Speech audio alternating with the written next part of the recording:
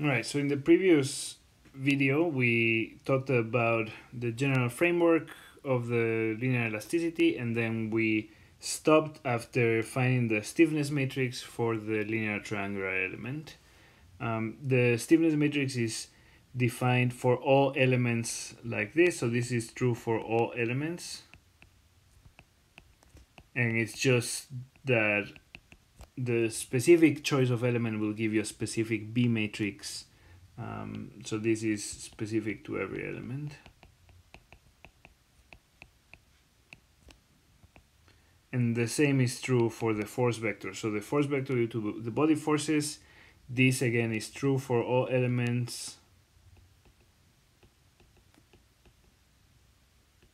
But the specific shape functions are specific to each element type. And the same is true for the for the traction, for the force vector to the boundary tractions. Um, so what I'm gonna do for this part of the lecture is we're just gonna talk about what do these force vectors look like for the constant state strain triangle. And if you recall the constant strain triangle, we have the shape functions directly in terms of x and y. I just wrote completely the first shape function and then for the second and third shape functions, just left this constant right here. Uh, but these are linear constants of x and y, I can take derivatives, right?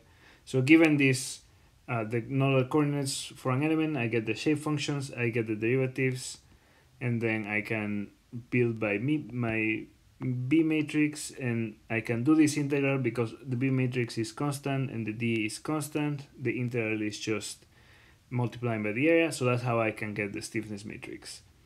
For the force vectors, I'm gonna take a shortcut right here. So the force vector would be the integral of the vector, the matrix with the shape functions times the body force vector. And that one actually you might have to compute the, the integral depending on how this looks like. So the the shape functions are just um, the the linear functions that we defined earlier but in order to do this integral you may or may not be able to simplify it. If you recall what we have done in the in the heat transfer problem is we define the force vector for a specific type of problem where the source term was constant for example. So here we're going to do something similar if the body force is interpolated at the nodes, meaning if we have an element, say this is some element with nodes 1, 2, 3. So these are the local node numbers.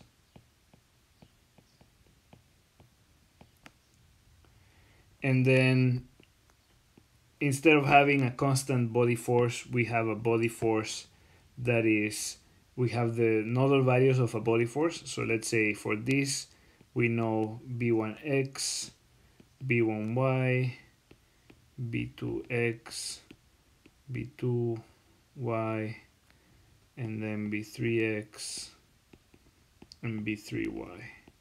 If we know these values and the, the body force is interpolated inside of the triangle linearly, then I'm gonna I'm not gonna do the derivation but if the so if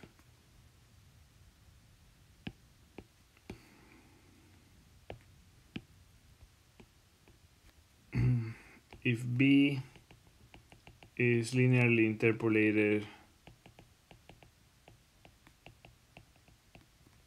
based on nodal values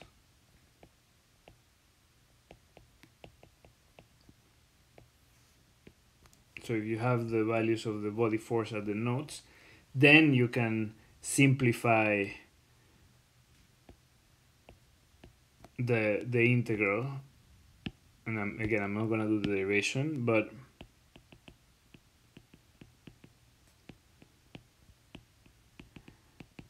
but then you don't need to do that yourselves. You can just look this up. So this is if you actually work out the integral, this is what you would get. So it's area of the element divided by 12 times this linear combination of the body force at the different nodes. And note that this is a 6 by 1 vector. So this is a 6 by 1 vector. and this is because the the triangular element has three nodes and each node has two degrees of freedom so that's why you you end up with a force per degree of freedom so that's why you get six so two two forces per node um, that's it so that is for the body force vector and if you want to look at the derivation i think it's in the book or you can ask me during office hours and i can cover that then boundary traction this is as tricky as it was for the for the heat transfer problem. So for example, assume that the edge made out of nodes 1 and 2 is the boundary that has a traction boundary condition. And in that case, we need to integrate the shape function over the edge, right, um, uh, times the traction. And then this is different from the heat transfer problem in because we have now traction in x and traction in y. And also I'm complicating it a little bit with respect to heat transfer problem because in the heat transfer problem we did uh, constant flux. So here we have different flux at the different nodes. So I'm assuming that the flux may change linearly. So the traction may change linearly for both the x and the y direction. So for the edge made out of nodes 1 and 2, what you should consider is that the shape functions 1 and 2 are the ones that are non-zero over this edge. So similar to what we had before.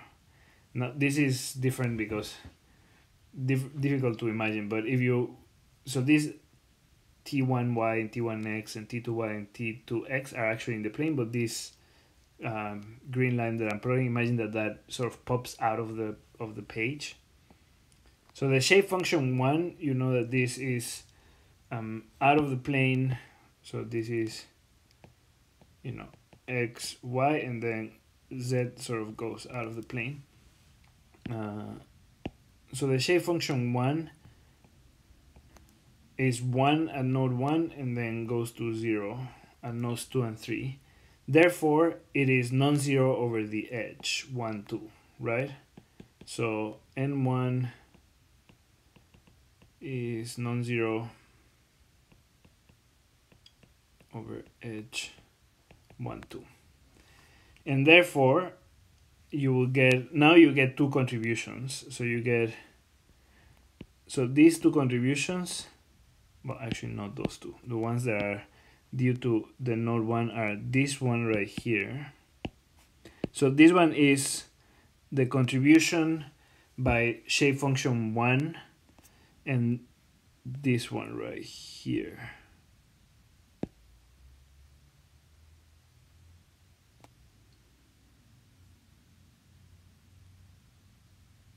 Actually, no, this is wrong. So the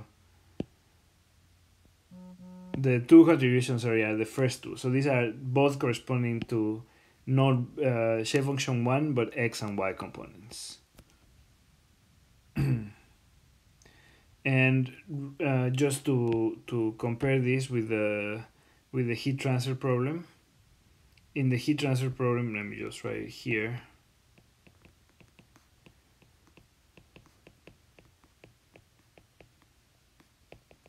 so in the heat transfer problem if I had a similar um, triangle with some flux q bar what I had was that in order to to have this integral heat, If the flux was constant, hopefully you remember what I did last time.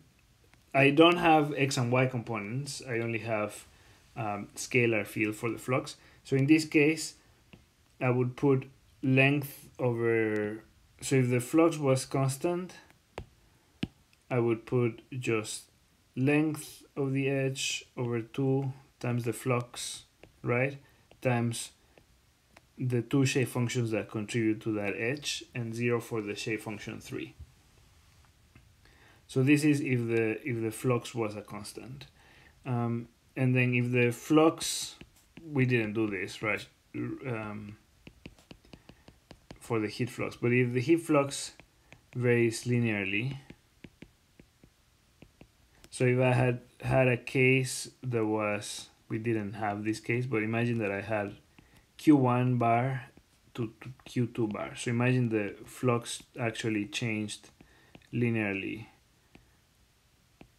over the, the edge of the triangle. So in that case, actually my heat flux vector would have been similar to this one, would have been length over 6 times 2 q1 plus q2 and then also 2 uh, sorry in this case will be q1 plus 2q2 q1 plus 2q2 0 we didn't actually got to this point the, the only one that I did for the heat flux was a constant heat flux but I want to generalize a little bit for this one. Uh, but again so you have two entries because nodes 1 and 2 are contributing to that edge and then node 3 doesn't contribute. So similarly here because of n1 but now we have instead of a single contribution to the force vector we have two because we have x and y so from n1, the contribution would be 2 and the values of x and y at node 1 times the values at node 2. And then for node 2, the shape function associated with node 2 is also non-zero over that edge. So it's like this, right? And then in particular over the edge, this is non-zero. So now that one contributes to these two terms. And then node 3 doesn't contribute because node 3 is 0 over the edge. And you can see that now we have length of the edge over 6. So L is the length of the edge. So it's similar concept to what we did in the in the heat transfer problem, but now we have x and y components.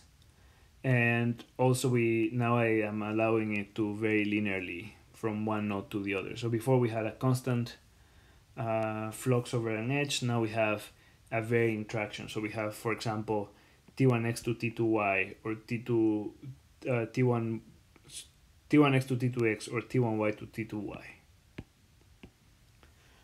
Let me just do another example. Uh, so this one is just for comparison. You can ignore this for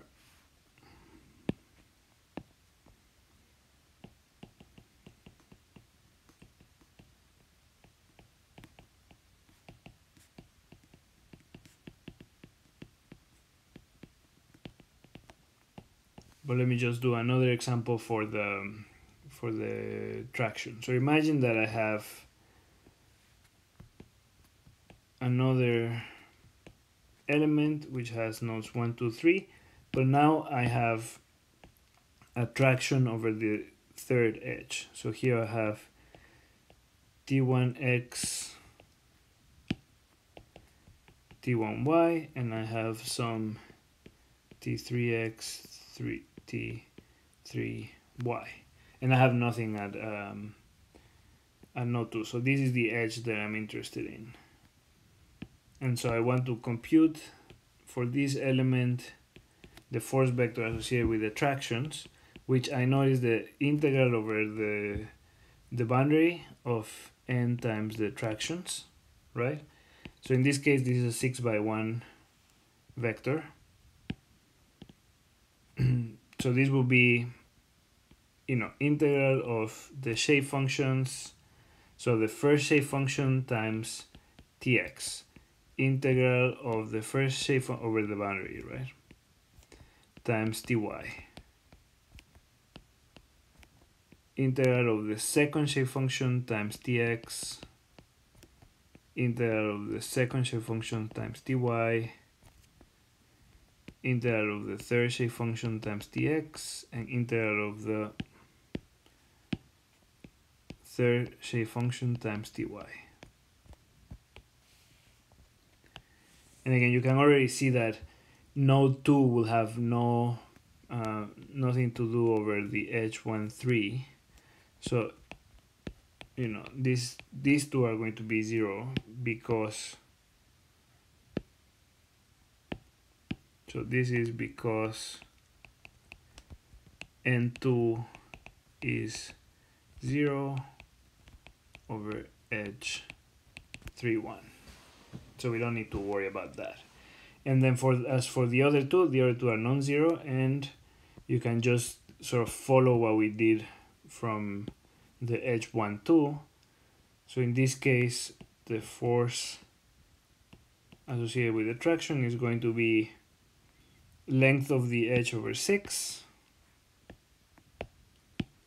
so length of the edge over 6 and so for the first shape function so this one would be n1tx the the tractions corresponding to this node get 2 so they get a little bit more weight. So this will be the x component so this will be 2 times t1x plus the component of x from the other node t3x and then for the y component, it will be the same, but with y.